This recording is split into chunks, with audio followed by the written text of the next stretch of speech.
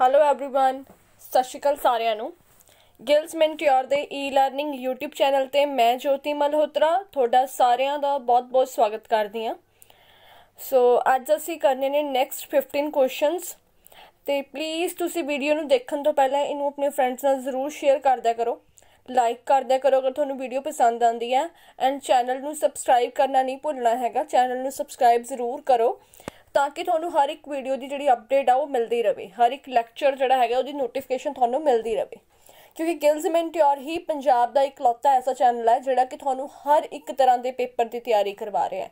ਚਾਹੇ ਉਹ ਪਟਵਾਰੀ ਹੈ, ਚਾਹੇ ਉਹ ਐਨਟੀਪੀਸੀ ਹੈ, ਚਾਹੇ ਉਹ ਵਾਰਡ ਅਟੈਂਡੈਂਟ ਹੈ ਜਾਂ ਫਿਰ ਵਾਕਫ ਬੋਰਡ ਹੈ। ਕੋਈ ਵੀ, ਕਿਸੇ ਵੀ ਤਰ੍ਹਾਂ ਦੀ ਕੋਈ ਵੀ ਵੈਕੈਂਸੀ ਹੈ ਉਸ ਦੀ ਜੋ ਤਿਆਰੀ ਹੈ ਤੁਹਾਨੂੰ ਗਿਲਜ਼ ਮੈਂਟਿਓਰ ਚੈਨਲ ਦੁਆਰਾ ਕਰਵਾਈ ਜਾ ਰਹੀ ਹੈ।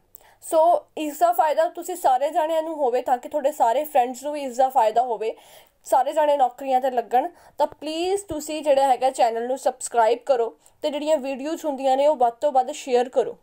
ਇਹ ਜਿਹੜੀਆਂ ਵੀਡੀਓਜ਼ ਨੇ, ਇਹ ਪੰਜਾਬੀ ਦੇ ਵਿੱਚ ਬਹੁਤ ਸਪੈਸ਼ਲੀ ਡਿਮਾਂਡ ਦੇ ਉੱਤੇ ਬਣਾਈਆਂ ਜਾ ਰਹੀਆਂ ਨੇ। ਪਹਿਲਾਂ ਜਿਹੜੀਆਂ ਵੀਡੀਓਜ਼ ਬਣਾਈਆਂ ਗਈਆਂ ਸੀ, ਉਹ ਇੰਗਲਿਸ਼ ਦੇ ਵਿੱਚ ਸੀਗੀਆਂ ਬਟ ਇਹ ਸਪੈਸ਼ਲੀ ਜਿਹੜੇ ਲੈਕਚਰਸ ਤਿਆਰ ਕੀਤੇ ਜਾ ਰਹੇ ਨੇ ਪੰਜਾਬੀ ਦੇ ਵਿੱਚ ਕੀਤੇ ਜਾ ਰਹੇ ਨੇ। ਤਾਂ ਜੋ ਕਿਉਂਕਿ ਕਈ ਜਿਹੜੇ ਹੈਗੇ ਨੇ ਸਟੂਡੈਂਟਸ ਜ਼ਰੂਰੀ ਨਹੀਂ ਕਿ ਕੋਈ ਸਟੂਡੈਂਟ ਇਹੋ ਜਿਹੇ ਹੁੰਦੇ ਨੇ, ਜਿਹੜੇ ਆਰਟਸ ਬੈਕਗ੍ਰਾਉਂਡ ਤੋਂ ਹੁੰਦੇ ਨੇ ਕਮਰਸ ਬੈਕਗ੍ਰਾਉਂਡ ਤੋਂ ਹੁੰਦੇ ਨੇ, ਜਾਂ ਮਤਲਬ ਜਿਨ੍ਹਾਂ ਨੂੰ ਸਾਇੰਸ ਬਾਰੇ ਨਹੀਂ ਪਤਾ ਹੁੰਦਾ, ਜਿਨ੍ਹਾਂ ਨੇ ਸਾਇੰਸ ਸਿਰਫ 10th ਤੱਕ ਹੀ ਪੜ੍ਹੀ ਹੁੰਦੀ ਆ, ਉਸ ਤੋਂ ਬਾਅਦ ਉਹਨਾਂ ਦਾ ਲਿੰਕ ਟੁੱਟ ਜਾਂਦਾ ਤਾਂ ਉਹਨਾਂ ਨੂੰ ਸਮਝਣ ਦੇ ਵਿੱਚ ਔਖੀ ਹੁੰਦੀ ਆ। ਜਾਂ ਫਿਰ ਜਿਨ੍ਹਾਂ ਦਾ ਮੀਡੀਅਮ ਪੰਜਾਬੀ ਰਿਹਾ ਹੋਵੇ, ਉਹਨਾਂ ਨੂੰ ਇੰਗਲਿਸ਼ 'ਚ ਸਾਇੰਸ ਸਮਝਣੀ ਬਹੁਤ ਔਖੀ ਹੁੰਦੀ ਆ।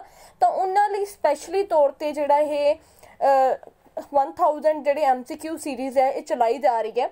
ਤਾਂ ਪਲੀਜ਼ ਤੁਸੀਂ ਵੱਧ ਚੜ ਕੇ ਇਹਨੂੰ ਸ਼ੇਅਰ ਕਰੋ, ਕਿਉਂਕਿ ਜਿੰਨਾ ਤੁਸੀਂ ਵੱਧ ਤੋਂ ਵੱਧ ਰਿਸਪੌਂਸ ਦਵਾਂਗੇ, ਦਵੋਗੇ ਉਨਾ ਹੀ ਅਸੀਂ ਵੱਧ ਤੋਂ ਵੱਧ ਜਿਹੜਾ ਹੈਗਾ ਤੁਹਾਡੇ ਲਈ ਕੰਮ ਕਰ ਪਾਵਾਂਗੇ, ਅਸੀਂ ਸਾਨੂੰ ਉਨੀ ਹੀ ਜ਼ਿਆਦਾ ਮੋਟੀਵੇਸ਼ਨ ਮਿਲੂਗੀ। ਸੋ ਪਲੀਜ਼ ਗਾਇਸ ਵੱਧ ਤੋਂ ਵੱਧ ਸ਼ੇਅਰ ਕਰੋ ਆਪਣੇ ਫਰੈਂਡਸ ਦੇ ਨਾਲ, ਠੀਕ ਹੈ? ਲਾਈਕ ਕਰਨਾ ਨਾ ਭੁੱਲਿਆ ਕਰੋ, ਅਗਰ ਤੁਹਾਨੂੰ ਵੀਡੀਓ ਪਸੰਦ ਆਂਦੀ ਹੈ ਐਂਡ ਕਮੈਂਟ ਵੀ ਜ਼ਰੂਰ ਕਰਕੇ ਦੱਸਿਆ ਕਰੋ। ਅਗਰ ਤੁਹਾਨੂੰ ਕਿਤੇ ਕੋਈ ਮਿਸਟੇਕ ਲੱਗਦੀ ਆ, ਉਹ ਵੀ ਦੱਸ ਦਿਆ ਕਰੋ, ਕਿਉਂਕਿ ਇਨਸਾਨ ਗਲਤੀਆਂ ਦਾ ਪੁਤਲਾ ਹੈ ਟੀਚਰ ਤੋਂ ਵੀ ਗਲਤੀ ਹੋ ਸਕਦੀ ਆ। ਸੋ ਪਲੀਜ਼ ਅਗਰ ਤੁਹਾਨੂੰ ਕਿਸੇ ਕੁਐਸਚਨ 'ਚ ਡਾਊਟ ਆ ਜਾਂ ਤੁਹਾਨੂੰ ਲੱਗਦਾ ਹੈ ਵੀ ਇਹ ਕੁਐਸਚਨ ਦਾ ਆਨਸਰ ਇਹ ਆਣਾ ਚਾਹੀਦਾ ਹੈ, ਇਹ ਨਹੀਂ ਆਣਾ ਚਾਹੀਦਾ ਜਾਂ ਕਿਤੇ ਵੀ ਕੁਝ ਕਿਸੇ ਵੀ ਤਰੀਕੇ ਦਾ ਕੋਈ ਵੀ ਡਾਊਟ ਆ, ਠੀਕ ਹੈ, ਤਾਂ ਤੁਸੀਂ ਕਮੈਂਟ ਸੈਕਸ਼ਨ ਦੇ ਵਿੱਚ ਲਿਖ ਕੇ ਲਿਖ ਸਕਦੇ ਹੋ। ਦੈਨ ਆਈ ਵਿਲ ਆਨਸਰ ਮੈਂ ਉਹਦਾ ਆਨਸਰ ਪੱਕਾ ਦਵਾਂਗੀ ਅਗਰ ਤੁਸੀਂ ਕਮੈਂਟ ਸੈਕਸ਼ਨ 'ਚ ਡਾਊਟ ਪੁੱਛਦੇ ਹੋ। ਸੋ ਲੈਟਸ ਸਟਾਰਟ ਗਾਇਸ ਫਿਰ ਆਪਾਂ ਅੱਜ ਦਾ ਸੈਸ਼ਨ ਜਿਹੜਾ ਹੈਗਾ ਸਟਾਰਟ ਕਰਦੇ ਹਾਂ। ਸੋ ਸਾਡਾ ਫਰਸਟ ਕੁਐਸਚਨ ਹੈ ਆਰਬੀਸੀ ਦਾ ਕਬਰਿਸਤਾਨ ਕਿਸ ਨੂੰ ਆਖਦੇ ਹਨ? ਆਰਬੀਸੀ ਦਾ ਕਬਰਿਸਤਾਨ ਕਿਸ ਨੂੰ ਆਖਦੇ ਹਨ? ਆਰਬੀਸੀ ਦਾ ਮਤਲਬ ਹੁੰਦਾ ਹੈ ਰੈੱਡ ਬਲੱਡ ਸੈੱਲ ਸਾਡੇ ਖੂਨ ਦੇ ਵਿੱਚ ਤਿੰਨ ਤਰ੍ਹਾਂ ਦੇ ਸੈੱਲ ਪਾਏ ਜਾਂਦੇ ਨੇ। ਇੱਕ ਹੁੰਦੇ ਨੇ ਆਰਬੀਸੀ ਰੈੱਡ ਬਲੱਡ ਸੈੱਲ ਇੱਕ ਡਬਲਯੂਬੀਸੀ ਵਾਈਟ ਬਲੱਡ ਸੈੱਲ ਤੇ ਇੱਕ ਹੁੰਦੇ ਨੇ ਪਲੇਟਲੈਟਸ ਇਹ ਤਿੰਨ ਤਰ੍ਹਾਂ ਦੇ ਸੈੱਲ ਪਾਏ ਜਾਂਦੇ ਨੇ ਸਾਡੇ ਖੂਨ ਦੇ ਵਿੱਚ। ਤਾਂ ਆਪਾਂ ਇਹ ਦੱਸਣਾ ਹੈ ਕਿ ਆਰਬੀਸੀ ਦਾ ਕਬਰਿਸਤਾਨ ਕਿਸ ਨੂੰ ਕਿਹਾ ਜਾਂਦਾ ਹੈ? ਕਿ ਜਿਹੜੇ ਆਰਬੀਸੀ ਆ, ਉਹ ਕਿੱਥੇ ਜਾ ਕੇ ਖਤਮ ਹੁੰਦੇ ਨੇ? ਕਿਸ ਨੂੰ ਉਹਨਾਂ ਦਾ ਕਬਰਿਸਤਾਨ ਕਿਹਾ ਜਾਂਦਾ ਹੈ? ਤਾਂ ਇਹਦਾ ਆਨਸਰ ਹੈਗਾ ਸਾਡੇ ਕੋਲ ਸਪਲੀਨ। ਸਪਲੀਨ ਜਿਹੜਾ ਹੈਗਾ ਨਾ, ਜਿਵੇਂ ਸਾਡੀ ਮੁੱਠੀ ਹੁੰਦੀ ਆ ਫਿਸਟ ਜਿਹਨੂੰ ਆਪਾਂ ਕਹਿੰਦੇ ਆ, ਮੁੱਠੀ।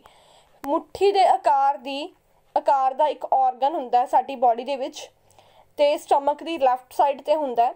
ਤੇ ਇਹਨੂੰ ਆਰਬੀਸੀ ਦਾ ਕਬਰਿਸਤਾਨ ਕਿਹਾ ਜਾਂਦਾ ਹੈ। ਕਿਉਂਕਿ ਜਿਹੜੇ ਆਰਬੀਸੀ ਹੁੰਦੇ ਨੇ, ਇਹ ਖਤਮ ਕਿੱਥੇ ਜਾ ਕੇ ਹੁੰਦੇ ਨੇ? ਸਪਲੀਨ ਦੇ ਅੰਦਰ ਜਾ ਕੇ ਖਤਮ ਹੁੰਦੇ ਨੇ। ਨੈਕਸਟ ਸਾਡਾ ਕੁਐਸਚਨ ਹੈ, ਸਾਡੇ ਸਰੀਰ ਵਿੱਚ ਹੀਮੋਗਲੋਬਿਨ ਦਾ ਕੀ ਕੰਮ ਹੈ? ਦੇਖੋ ਜਿਹੜਾ ਹੀਮੋਗਲੋਬਿਨ ਹੈ ਨਾ, ਹੀਮੋਗਲੋਬਿਨ ਜਿਹੜਾ ਹੁੰਦਾ ਹੈ, ਇਹ ਜਿਹੜਾ ਸਾਡਾ ਖੂਨ ਦਾ ਰੰਗ ਲਾਲ ਹੁੰਦਾ ਹੈ ਨਾ, ਉਹ ਲਾਲ ਰੰਗ ਕਿਹਦੇ ਕਰਕੇ ਹੁੰਦਾ ਹੈ? ਹੀਮੋਗਲੋਬਿਨ ਕਰਕੇ ਹੀ ਹੁੰਦਾ ਤੇ ਹੀਮੋਗਲੋਬਿਨ ਕੀ ਕਰਦਾ ਹੈ? ਆਕਸੀਜਨ ਨੂੰ ਟਰਾਂਸਪੋਰਟ ਕਰਦਾ ਹੈ। ਸੋ ਇਹ ਕੀ ਕਰਦਾ ਹੈ? ਸਾਡੇ ਸਰੀਰ ਦੇ ਵਿੱਚ ਜੋ ਆਕਸੀਜਨ ਹੁੰਦੀ ਆ, ਆਕਸੀਜਨ ਜੋ ਅਸੀਂ ਲੈਂਦੇ ਆ, ਉਸ ਆਕਸੀਜਨ ਨੂੰ ਸਰੀਰ ਦੇ ਇੱਕ ਭਾਗ ਤੋਂ ਸਰੀਰ ਦੇ ਦੂਜੇ ਭਾਗ ਤੱਕ ਪਹੁੰਚਾਉਣ ਦਾ ਕੰਮ ਕੌਣ ਕਰਦਾ ਹੈ? ਹੀਮੋਗਲੋਬਿਨ ਕਰਦਾ ਹੈ। ਸਾਡੇ ਸਰੀਰ ਵਿੱਚ ਜੋ ਆਕਸੀਜਨ ਹੈ ਉਸ ਨੂੰ ਇੱਕ ਥਾਂ ਤੋਂ ਦੂਜੀ ਥਾਂ ਤੇ ਲੈ ਕੇ ਜਾਣ ਦਾ ਜਿਹੜਾ ਕੰਮ ਹੈ, ਉਹ ਕੌਣ ਕਰਦਾ? ਉਹ ਹੀਮੋਗਲੋਬਿਨ ਕਰਦਾ ਇਹ ਸਾਡੇ ਜਿਹੜੇ ਰੈੱਡ ਬਲੱਡ ਸੈੱਲ ਹੁੰਦੇ ਨੇ ਰੈੱਡ ਬਲੱਡ ਸੈੱਲ ਦੇ ਵਿੱਚ ਹੁੰਦਾ ਹੈ ਹੀਮੋਗਲੋਬਿਨ। ਲਾਲ ਰੰਗ ਦਾ ਇੱਕ ਪਿਗਮੈਂਟ ਹੁੰਦਾ ਹੈ, ਜਿਹੜਾ ਕਿ ਸਾਡੇ ਖੂਨ ਨੂੰ ਇੱਕ ਲਾਲ ਰੰਗ ਪ੍ਰੋਵਾਈਡ ਕਰਦਾ ਹੈ। ਤੇ ਇਸ ਤੋਂ ਇਲਾਵਾ ਇਹ ਸਾਡੇ ਖੂਨ ਦੇ ਵਿੱਚ ਆਕਸੀਜਨ ਨੂੰ ਟਰਾਂਸਪੋਰਟ ਕਰਨ ਦੇ ਵਿੱਚ ਵੀ ਹੈਲਪ ਕਰਦਾ ਹੈ। ਸੋ ਸਾਡਾ ਨੈਕਸਟ ਕੁਐਸਚਨ ਹੈ ਪੈਲਿਊਰਾ ਸਾਡੇ ਸਰੀਰ ਦੇ ਕਿਸ ਭਾਗ ਵਿੱਚ ਪਾਇਆ ਜਾਂਦਾ ਹੈ? ਇੱਥੇ ਸਹੀ ਕਰ ਲਓ, ਭਾਗ ਹੈ ਇੱਥੇ। ਪੈਲਿਊਰਾ ਸਾਡੇ ਸਰੀਰ ਦੇ ਕਿਸ ਭਾਗ ਵਿੱਚ ਪਾਇਆ ਜਾਂਦਾ ਹੈ? ਦੇਖੋ ਜੋ ਪਲਿਊਰਾ ਹੁੰਦਾ ਹੈ, ਇਹ ਸਾਡੇ ਜੋ ਲੰਗਸ ਹੁੰਦੇ ਨੇ, ਫੇਫੜੇ ਹੁੰਦੇ ਨੇ, ਜਿਹੜੇ ਸਾਡੇ ਲੰਗਸ ਹੁੰਦੇ ਨੇ, ਸਾਡੇ ਫੇਫੜੇ ਹੁੰਦੇ ਨੇ, ਉਹਨਾਂ ਦੇ ਆਲੇ ਦੁਆਲੇ ਇੱਕ ਮੈਂਬਰੇਨ ਹੁੰਦੀ ਆ। ਜਿਵੇਂ ਆਪਾਂ ਕਹਿ ਨਾ ਸਰਾਣੇ ਦੇ ਆਲੇ ਦੁਆਲੇ ਆਪਾਂ ਕਿਊਸ਼ਨ ਲਗਾਉਂਦੇ ਆ ਕਿਊਸ਼ਨ ਕਵਰ ਹੁੰਦਾ ਹੈ ਨਾ, ਉਵੇਂ ਜਿਹੜੇ ਸਾਡੇ ਲੰਗਸ ਹੁੰਦੇ ਨੇ, ਸਾਡੇ ਫੇਫੜੇ ਹੁੰਦੇ ਨੇ, ਉਹਨਾਂ ਦੇ ਆਲੇ ਦੁਆਲੇ ਇੱਕ ਡਬਲ ਮੈਂਬਰੇਨ ਲੇਅਰ ਹੁੰਦੀ ਆ। ਉਹ ਡਬਲ ਮੈਂਬਰੇਨ ਲੇਅਰ ਨੂੰ ਪੈਲਿਊਰਾ ਕਿਹਾ ਜਾਂਦਾ ਹੈ। ਇੰਗਲਿਸ਼ 'ਚ ਇਹਨੂੰ ਲਿਖਦੇ ਆ ਆਪਾਂ। Like P L E U R A ਇਸ ਤਰੀਕੇ ਨਾਲ ਨੂੰ ਲਿਖਿਆ ਜਾਂਦਾ ਹੈ ਪਲਿਊਰਾ ਇਹ ਸਾਡੇ ਕਿਸ ਭਾਗ ਵਿੱਚ ਪਾਇਆ ਜਾਂਦਾ ਸਰੀਰ ਦੇ ਇਸ ਨੂੰ ਪਾਏ ਇਹ ਪਾਏ ਜਾਂਦੇ ਨੇ ਫੇਫੜਿਆਂ ਦੇ ਵਿੱਚ। ਪਲਿਊਰਾ ਸਾਡੇ ਸਰੀਰ ਦੇ ਕਿਸ ਭਾਗ ਵਿੱਚ ਪਾਇਆ ਜਾਂਦਾ ਹੈ? ਫੇਫੜਿਆਂ ਦੇ ਵਿੱਚ ਪਾਇਆ ਜਾਂਦਾ ਹੈ। ਇਹ ਸਾਡੇ ਫੇਫੜਿਆਂ ਨੂੰ ਪ੍ਰੋਟੈਕਟ ਕਰਨ ਦਾ ਕੰਮ ਕਰਦਾ ਹੈ। ਇਹ ਸਾਡੇ ਫੇਫੜਿਆਂ ਦੇ ਆਲੇ ਦੁਆਲੇ ਇੱਕ ਮੈਂਬਰੇਨ ਹੁੰਦੀ ਆ, ਜਿਹੜੀ ਕਿ ਫੇਫੜਿਆਂ ਨੂੰ ਪ੍ਰੋਟੈਕਟ ਕਰਨ ਦਾ ਕੰਮ ਕਰਦੀ ਹੈ ਨੈਕਸਟ ਕੁਐਸਚਨ ਹੈ ਓਜ਼ੋਨ ਪਰਤ ਨੂੰ ਮਾਪਣ ਦੀ ਇਕਾਈ ਕੀ ਹੈ? ਓਜ਼ੋਨ ਪਰਤ ਨੂੰ ਮਾਪਣ ਦੀ ਇਕਾਈ ਕੀ ਹੈ?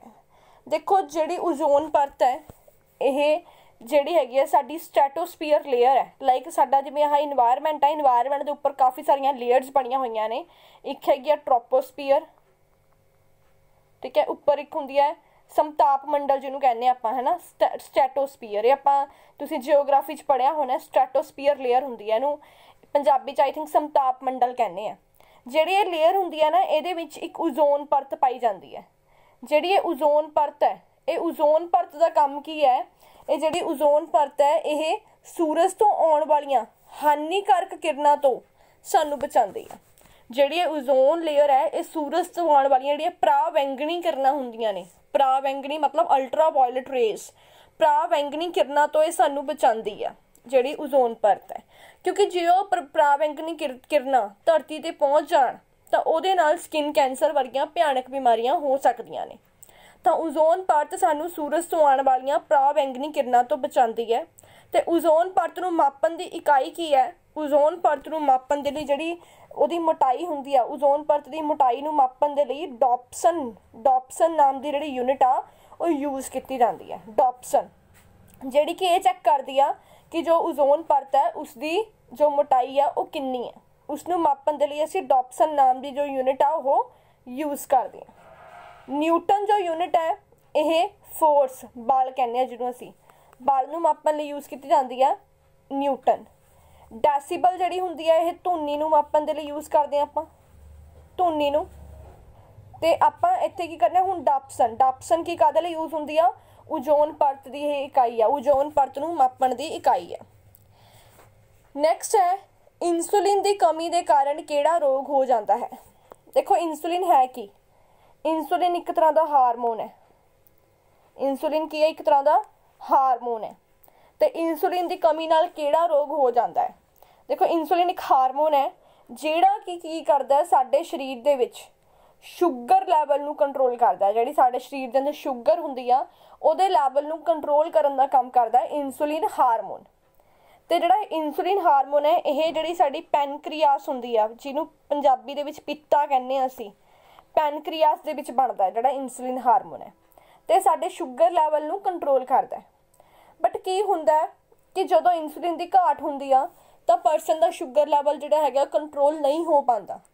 ਤਾਂ ਇਨਸੂਲਿਨ ਦੀ ਘਾਟ ਹੋਣ ਕਰਕੇ ਸ਼ੂਗਰ ਲੈਵਲ ਨਹੀਂ ਕੰਟਰੋਲ ਹੋ ਪਾਉਂਦੀ, ਜਿਹਦੇ ਕਰਕੇ ਸ਼ੂਗਰ ਦਾ ਕੀ ਹੋ ਜਾਂਦਾ ਡਾਇਬੀਟੀਜ਼ ਜਿਹਨੂੰ ਅਸੀਂ ਕਹਿੰਦੇ ਆ ਸ਼ੂਗਰ ਦਾ ਕੀ ਹੋ ਜਾਂਦਾ ਰੋਗ ਹੋ ਜਾਂਦਾ ਸ਼ੱਕਰ ਰੋਗ ਵੀ ਕਹਿ ਦਿੰਦੇ ਆ ਇਹਨੂੰ ਸ਼ੂਗਰ ਦਾ ਰੋਗ ਵੀ ਕਹਿ ਦਿੰਦੇ ਆ ਜਾਂ ਫਿਰ ਡਾਇਬੀਟੀਜ਼ ਆਪਾਂ ਇੰਗਲਿਸ਼ 'ਚ ਇਹਨੂੰ ਕਹਿ ਦਿੰਦੇ ਆ ਸੋ ਇਨਸੂਲਿਨ ਦੀ ਘਾਟ ਕਰਕੇ ਕਿਹੜਾ ਰੋਗ ਹੋ ਜਾਂਦਾ ਹੈ? ਇਨਸੂਲਿਨ ਦੀ ਘਾਟ ਕਰਕੇ ਜਿਹੜਾ ਹੈਗਾ ਸ਼ੂਗਰ ਦਾ ਰੋਗ ਹੋ ਜਾਂਦਾ ਹੈ। ਤਾਂ ਇਸ ਕੇਸ ਜਿਹੜੇ ਡਾਕਟਰ ਨੇ, ਉਹ ਹਮੇਸ਼ਾ ਕੀ ਪ੍ਰੈਫਰ ਕਰਦੇ ਨੇ? ਉਹ ਹਮੇਸ਼ਾ ਇਨਸੂਲਿਨ ਦਾ ਇੰਜੈਕਸ਼ਨ ਲਗਾਉਂਦੇ ਨੇ। ਤਾਂ ਕਿ ਜੋ ਅੰਦਰ ਸਾਡੇ ਇਨਸੂਲਿਨ ਇਨਸੂਲਿਨ ਦੀ ਘਾਟ ਹੈ, ਉਹ ਪੂਰੀ ਕੀਤੀ ਜਾ ਸਕੇ। ਉਸ ਤੋਂ ਬਾਅਦ ਜਿਹੜਾ ਥਾਇਰਾਇਡ ਹੈ ਥਾਇਰਾਇਡ ਦੀ ਬਿਮਾਰੀ ਜਿਹੜੀ ਹੁੰਦੀ ਹੈ, ਉਹ ਥਾਇਰੋਕਸਿਨ ਨਾਮ ਦਾ ਹਾਰਮੋਨ ਹੁੰਦਾ ਹੈ। ਥਾਇਰੋਕਸਿਨ ਥਾਇਰੋਕਸਿਨ ਨਾਮ ਦੇ ਹਾਰਮੋਨ ਹੁੰਦਾ ਹੈ। ਉਹਦੀ ਘਾਟ ਕਰਕੇ ਹੁੰਦੀ ਹੈ ਦੇਖੋ, ਮੈਂ ਇੰਗਲਿਸ਼ 'ਚ ਲਿਖਿਆ ਥਾਇਰੋਕਸਿਨ ਕਿਉਂਕਿ ਥਾਇਰੋਕਸਿਨ ਨੂੰ ਇੰਗਲਿਸ਼ 'ਚ ਵੀ ਥਾਇਰੋਕਸਿਨ ਹੀ ਕਵਾਂਗੇ, ਪੰਜਾਬੀ 'ਚ ਵੀ ਥਾਇਰੋਕਸਿਨ ਹੀ ਕਵਾਂਗੇ। ਸੋ ਜਿਹੜਾ ਸ਼ੂਗਰ ਰੋਗ ਹੈ ਇਹ ਹੁੰਦਾ ਹੈ ਇਨਸੂਲਿਨ ਦੀ ਘਾਟ ਕਰਕੇ ਤੇ ਜਿਹੜਾ ਥਾਇਰੋਇਡ ਥਾਇਰੋਇਡ ਦਾ ਰੋਗ ਹੁੰਦਾ ਹੈ, ਇਹ ਹੁੰਦਾ ਹੈ ਥਾਇਰੋਕਸਿਨ ਹਾਰਮੋਨ ਦੀ ਘਾਟ ਕਰਕੇ। ਤੇ ਜਿਹੜਾ ਅੰਦਰਾਤਾ ਹੈ, ਇਹ ਵਿਟਾਮਿਨ ਏ ਦੀ ਘਾਟ ਕਰਕੇ ਹੁੰਦਾ ਹੈ ਤੇ ਪੀਲੀਆ ਜਦ ਸਾਡੇ ਲੀਵਰ ਦੇ ਅੰਦਰ ਇਨਫੈਕਸ਼ਨ ਹੁੰਦੀ ਆ, ਉਹਦੇ ਕਰਕੇ ਹੁੰਦਾ ਹੈ। ਅਗਲਾ ਸਾਡਾ ਕੁਐਸਚਨ ਹੈ ਕਿਹੜੀਆਂ ਖੂਨ ਦੀਆਂ ਨਾੜੀਆਂ ਖੂਨ ਨੂੰ ਦਿਲ ਤੋਂ ਪੂਰੇ ਸਰੀਰ ਤੱਕ ਪਹੁੰਚਾਉਂਦੀਆਂ ਹਨ? ਦੇਖੋ, ਸਾਡੇ ਸਰੀਰ ਦੇ ਇੱਕ ਹਿੱਸੇ ਵਿੱਚ ਸਾਫ਼ ਖੂਨ ਹੁੰਦਾ ਹੈ ਤੇ ਸਾਡੇ ਸਰੀਰ ਦੇ ਇੱਕ ਹਿੱਸੇ ਵਿੱਚ ਗੰਦਾ ਖੂਨ ਹੁੰਦਾ ਹੈ। ਜਿਹੜੇ ਲੰਗਸ ਹੁੰਦੇ ਨੇ, ਸਾਡੇ ਫੇਫੜੇ ਹੁੰਦੇ ਨੇ, ਉਹ ਸਾਫ਼ ਖੂਨ ਨੂੰ ਸਾਡੇ ਦਿਲ ਦੇ ਵਿੱਚ ਟਰਾਂਸਫਰ ਕਰ ਦਿੰਦੇ ਨੇ, ਸਾਡੇ ਦਿਲ ਦੇ ਵਿੱਚ ਭੇਜ ਦਿੰਦੇ ਨੇ। ਤੇ ਸਾਡਾ ਦਿਲ ਕੀ ਕਰਦਾ ਫਿਰ? ਜਿਹੜਾ ਸਾਡਾ ਦਿਲ ਹੈ, ਉਸ ਸਾਫ਼ ਖੂਨ ਨੂੰ ਪੂਰੀ ਬਾਡੀ ਤੱਕ ਪਹੁੰਚਾਉਂਦਾ ਹੈ। ਪੂਰੇ ਬਾਡੀ ਪਾਰਟਸ ਤੱਕ ਪਹੁੰਚਾਉਂਦਾ ਹੈ, ਜਿਹੜਾ ਸਾਡਾ ਦਿਲ ਹੈ, ਉਹ ਕੀ ਕਰਦਾ ਹੈ, ਸਾਫ਼ ਖੂਨ ਨੂੰ ਪੂਰੀ ਬਾਡੀ ਦੇ ਵਿੱਚ ਪਹੁੰਚਾਉਂਦਾ ਹੈ। ਤੇ ਕਿੱਦਾਂ ਪਹੁੰਚਾਉਂਦਾ ਹੈ, ਕਿਹੜੀ, ਕਿਹਦੀ ਹੈਲਪ ਨਾਲ ਪਹੁੰਚਾਉਂਦਾ ਹੈ, ਕਿਹੜੀਆਂ ਖੂਨ ਦੀਆਂ ਨਾੜੀਆਂ ਨਾਲ ਪਹੁੰਚਾਉਂਦਾ ਹੈ, ਤਾਂ ਉਹਨੂੰ ਅਸੀਂ ਬੋਲਦੇ ਹਾਂ ਧਮਨੀ ਧਮਨੀ ਦੀ ਹੈਲਪ ਦੇ ਨਾਲ ਇਹ ਖੂਨ ਨੂੰ ਪੂਰੀ ਬਾਡੀ ਦੇ ਵਿੱਚ ਟਰਾਂਸਫਰ ਕਰਦਾ ਹੈ। ਨੈਕਸਟ ਸਾਡਾ ਕੁਐਸਚਨ ਹੈ ਪ੍ਰੋਟੀਨ ਪਚਣ ਤੋਂ ਬਾਅਦ ਕਿਸ ਵਿੱਚ ਬਦਲ ਜਾਂਦਾ ਹੈ? ਦੇਖੋ ਜਦੋਂ ਪ੍ਰੋਟੀਨ ਪਚਦਾ ਹੈ ਪ੍ਰੋਟੀਨ ਨੂੰ ਪ੍ਰੋਟੀਨ ਪਚਣ ਤੋਂ ਬਾਅਦ, ਪਹਿਲੀ ਗੱਲ ਤਾਂ ਪ੍ਰੋਟੀਨ ਨੂੰ ਦੋ ਐਂਜ਼ਾਈਮ ਪਹੁੰਚਾਉਂਦੇ ਪਹੁੰਚਾਉਂਦੇ ਨੇ। ਇੱਕ ਹੈਗਾ ਪੈਪਸਿਨ ਐਂਜ਼ਾਈਮ ਇੱਕ ਹੈਗਾ ਟ੍ਰਿਪਸਿਨ ਐਂਜ਼ਾਈਮ ਪੈਪਸਿਨ ਤੇ ਟ੍ਰਿਪਸਿਨ ਇਹ ਦੋਨੋਂ ਜਿਹੜੇ ਐਂਜ਼ਾਈਮ ਨੇ, ਇਹ ਪ੍ਰੋਟੀਨਸ ਨੂੰ ਪਚਾਉਣ ਦਾ ਕੰਮ ਕਰਦੇ ਨੇ।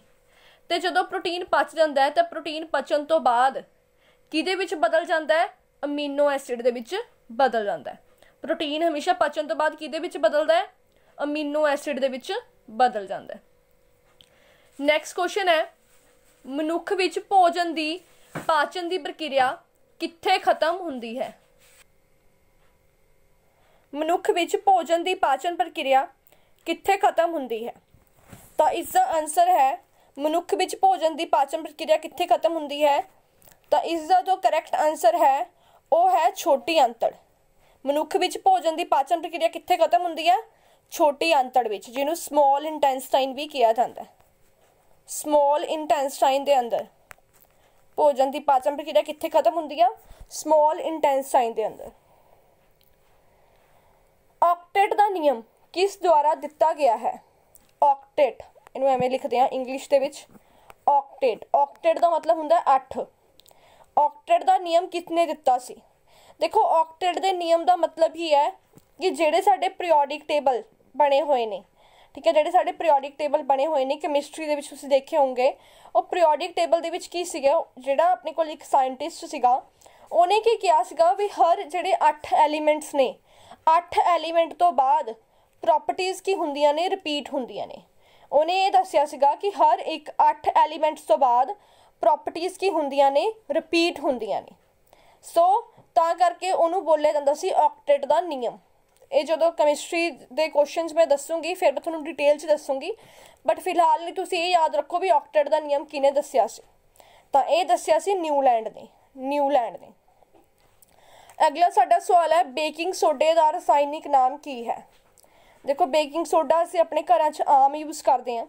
ਤਾਂ ਇਹਦਾ ਰਸਾਇਣਿਕ ਨਾਮ ਵੀ ਸਾਨੂੰ ਪਤਾ ਹੋਣਾ ਚਾਹੀਦਾ ਹੈ, ਕਿਉਂਕਿ ਇਹ ਡੇਲੀ ਯੂਜ਼ ਦੀ ਇੱਕ ਚੀਜ਼ ਹੈ ਬੇਕਿੰਗ ਸੋਡਾ।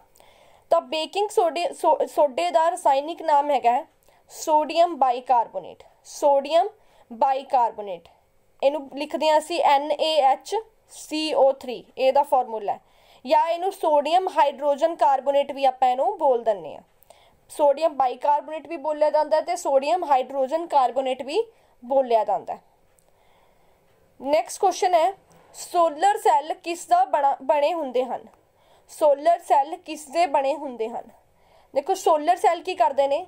ਇਹ ਸੂਰਜੀ ਊਰਜਾ ਨੂੰ, ਸੂਰਜੀ ਊਰਜਾ ਨੂੰ ਬਿਜਲੀ ਬਿਜਲਈ ਊਰਜਾ ਵਿੱਚ ਬਦਲਦੇ ਨੇ। ਮਤਲਬ ਸੂਰਜ ਦੀ ਊਰਜਾ ਲੈ ਕੇ ਉਹਦੇ ਤੋਂ ਇਲੈਕਟ੍ਰਿਸਿਟੀ ਪ੍ਰੋਡਿਊਸ ਕਰਨ ਦਾ ਕੰਮ ਕਰਦੇ ਨੇ ਸੋਲਰ ਸੈੱਲ ਤੇ ਸੋਲਰ ਸੈੱਲ ਦੇ ਵਿੱਚ ਕੀ ਬਣਿਆ ਹੁੰਦਾ, ਕਿਸ ਚੀਜ਼ ਦੇ ਸੋਲਰ ਸੈੱਲ ਬਣੇ ਹੁੰਦੇ ਨੇ? ਤਾਂ ਸੋਲਰ ਸੈੱਲ ਸਿਲੀਕਨ ਦੇ ਬਣੇ ਹੁੰਦੇ ਨੇ। ਕਿਹਦੇ ਬਣੇ ਹੁੰਦੇ ਨੇ? ਸਿਲੀਕਨ ਸੋਲਰ ਸੈੱਲ ਸਿਲੀਕਨ ਦੇ ਬਣੇ ਹੁੰਦੇ ਨੇ। ਸਿਲੀਕੋਨ ਇੱਕ ਸੈਮੀਕੰਡਕਟਰ ਹੈ। ਮਤਲਬ ਨਾ ਹੀ ਇਹ ਚਾਲਕ ਹੀ ਹੈ, ਨਾ ਇਹ ਕੁਚਾਲਕ ਹੀ ਹੈ। ਚਾਲਕ ਉਹਨਾਂ ਨੂੰ ਕਹਿੰਦੇ ਆ ਜਿਨ੍ਹਾਂ ਵਿੱਚੋਂ ਬਿਜਲੀ ਆਸਾਨੀ ਨਾਲ ਲੰਘ ਸਕਦੀ ਹੈ। ਕੁਚਾਲਕ ਉਹਨਾਂ ਨੂੰ ਕਹਿੰਦੇ ਆ ਜਿਨ੍ਹਾਂ ਚੋਂ ਬਿਜਲੀ ਆਸਾਨੀ ਨਾਲ ਨਹੀਂ ਲੰਘ ਸਕਦੀ। ਪਰ ਜਿਹੜੇ ਸਿਲੀਕੋਨ ਹੈ, ਇਹ ਕੀ ਹੈ? ਸੈਮੀਕੰਡਕਟਰ ਹੈ। ਮਤਲਬ ਨਾ ਇਹ ਕੁਚਾਲਕ ਹੀ ਹੈ, ਨਾ ਇਹ ਸੁਚਾਲਕ ਹੀ ਹੈ। ਵਿੱਚ ਵਿੱਚ ਵਾਲਾ ਜਿਹੜਾ ਪਾਰਟ ਹੁੰਦਾ, ਉਹ ਤੁਸੀਂ ਕਹਿ ਸਕਦੇ ਹੋ। ਸੋ ਜਿਹੜੇ ਸੋਲਰ ਸੈੱਲ ਆ, ਉਹਦੇ ਵਿੱਚ ਸਿਲੀਕੋਨ ਵਰਤਿਆ ਜਾਂਦਾ ਇੱਕ ਧੁਨੀ ਜਿਹੜੀ 20000 ਹਰਟਸ ਤੋਂ ਵੱਧ ਹੈ ਉਸ ਨੂੰ ਕੌਣ ਸੁਣ ਸਕਦਾ ਹੈ? ਦੇਖੋ ਜਿਹੜੀ ਸਾਡੀ ਸੁਣਨ ਦੀ ਰੇਂਜ ਹੈ, ਉਹ 20 ਹਰਟਸ ਤੋਂ ਲੈ ਕੇ 20000 ਹਰਟਸ ਤੱਕ ਹੈ। 20000 ਹਰਟਸ ਤੱਕ। ਸਾਡੀ ਜਿਹੜੀ ਸੁਣਨ ਦੀ ਰੇਂਜ ਆ, ਉਹ 20 ਹਰਟਸ ਤੋਂ ਲੈ ਕੇ 20000 ਹਰਟਸ ਤੱਕ ਹੈ। ਜੇ 20000 ਹਰਟਸ ਤੋਂ ਵੱਧ ਹੋਵੇ, ਜੇ ਧੁਨੀ ਦੀ ਜਿਹੜੀ ਰੇਂਜ ਆ, ਉਹ 20000 ਹਰਟਸ ਤੋਂ ਵੱਧ ਹੋਵੇ ਤਾਂ ਉਹ ਅਸੀਂ ਨਹੀਂ ਸੁਣ ਸਕਦੇ। ਕਿਉਂਕਿ ਉਹ ਹੁੰਦੀਆਂ ਨੇ ਅਲਟਰਾਸੋਨਿਕ ਤਰੰਗਾਂ। ਅਲਟਰਾਸੋਨਿਕ ਵੇਵਸ ਕਹਿੰਦੇ ਆ ਉਹਨੂੰ ਅਸੀਂ। ਅਲਟਰਾਸੋਨਿਕ ਵੇਵਸ ਕਿਹਾ ਜਾਂਦਾ ਉਹਨਾਂ ਨੂੰ। ਜਿਹੜੀਆਂ 20000 ਹਰਟਸ ਤੋਂ ਵੱਧ ਹੁੰਦੀਆਂ ਨੇ। ਉਹਨੂੰ ਅਲਟਰਾਸੋਨਿਕ ਵੇਵਸ ਕਿਹਾ ਜਾਂਦਾ ਉਹ ਅਸੀਂ ਨਹੀਂ ਸੁਣ ਸਕਦੇ। ਤਾਂ ਉਸ ਨੂੰ ਕੌਣ ਸੁਣ ਸਕਦਾ ਹੈ? ਚਮਕਾਦੜ ਬੈਟਸ ਜਿਹਨੂੰ ਅਸੀਂ ਕਹਿੰਦੇ ਆ ਚਮਕਾਦੜ ਜਿਹੜੀ ਹੈਗੀ ਹੈ, ਉਹ ਅਲਟਰਾਸੋਨਿਕ ਵੇਵਸ ਸੁਣ ਸਕਦੀਆਂ ਨੇ ਤੇ ਉਹ ਆਪਣਾ ਸ਼ਿਕਾਰ ਲੱਭਣ ਲਈ ਅਲਟਰਾਸੋਨਿਕ ਵੇਵਸ ਵੀ ਵੇਵਸ ਦੀ ਹੀ ਵਰਤੋਂ ਕਰਦੀਆਂ ਨੇ। ਜੇ ਜਿਹੜੀ ਤੁਹਾਡੀ ਫ੍ਰੀਕੁਐਂਸੀ ਆ, ਜਿਹੜੀ ਧੁਨੀ ਆ ਜਿਹੜੀ ਤੁਹਾਡੀ, ਉਹ 20 ਹਰਟਜ਼ ਤੋਂ ਘੱਟ ਹੈ। ਲਾਈਕ 20000 ਤੋਂ, ਅਗਰ 20000 ਤੋਂ ਵੱਧ ਹੈ, ਤਾਂ ਅਲਟਰਾਸੋਨਿਕ ਤੇ ਜੇ 20 ਹਰਟਜ਼ ਤੋਂ ਘੱਟ ਹੈ, ਤਾਂ ਉਹਨੂੰ ਇਨਫਰਾਸੋਨਿਕ ਬੋਲਦੇ ਆ। ਇਨਫਰਾਸੋਨਿਕ ਵੀ ਅਸੀਂ ਨਹੀਂ ਸੁਣ ਸਕਦੇ। ਉਹਨੂੰ ਕੌਣ ਸੁਣ ਸਕਦਾ ਹੈ? ਹਾਥੀ। ਜੋ ਐਲੀਫੈਂਟਸ ਹੁੰਦੇ ਨੇ, ਉਹ ਇਨਫਰਾਸੋਨਿਕ ਜਿਹੜੀਆਂ ਰੇਂਜ ਹੁੰਦੀ ਆ ਉਸ ਨੂੰ ਸੁਣ ਸਕਦੇ ਨੇ। ਨੈਕਸਟ ਹੈ, ਪ੍ਰਕਾਸ਼ ਦੇ ਸੱਤ ਰੰਗਾਂ ਵਿੱਚ ਵੰਡੇ ਜਾਣ ਦੀ ਪ੍ਰਕਿਰਿਆ ਨੂੰ ਕੀ ਕਹਿੰਦੇ ਹਨ? ਦੇਖੋ ਪ੍ਰਕਾਸ਼ ਜਿਹੜਾ ਹੈਗਾ ਉਹ ਸੱਤ ਰੰਗਾਂ ਤੋਂ ਮਿਲ ਕੇ ਬਣਿਆ ਹੋਇਆ ਹੈ, ਜਿਹਨੂੰ ਵਿਬਗਿਓਰ ਵੀ ਕਹਿੰਦੇ ਆ ਆਪਾਂ। ਵਿਬਗਿਓਰ ਦੇ ਨਾਮ ਨਾਲ ਜਾਣਿਆ ਜਾਂਦਾ ਹੈ। ਵੀ ਦਾ ਮਤਲਬ ਵਾਇਲਟ, ਜਿਹਨੂੰ ਬੈਂਗਣੀ ਕਲਰ ਕਹਿੰਦੇ ਆਪਾਂ।